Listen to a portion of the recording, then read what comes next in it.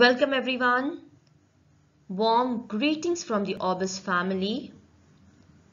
In today's environmental studies class, we are going to learn about water transport. What did we learn in the last video? In the last video, we learned about the land transport and emergency vehicles. What are we going to learn today? In today's session, we are going to learn about water transport.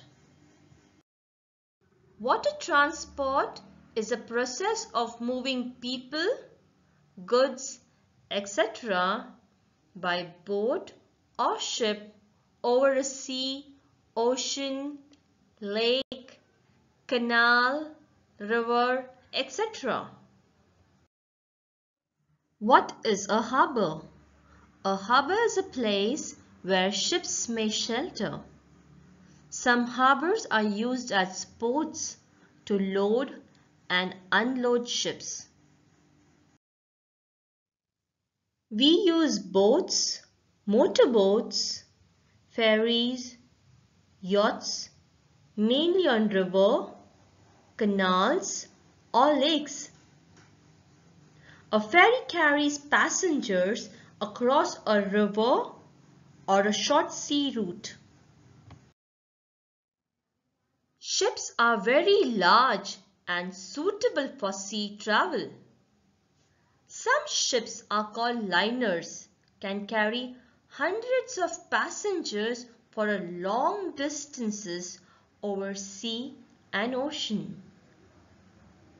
Some ships can carry large quantities of goods and they are called cargo ships.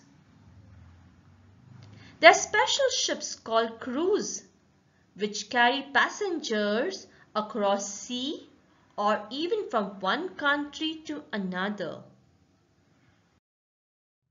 A submarine can move both above and below the water. It is used to study the underwater world and for defense purposes. Do you remember? Water transport is a process of moving people, goods, etc. by boat or ship over a sea, ocean, lake, canal, river, etc.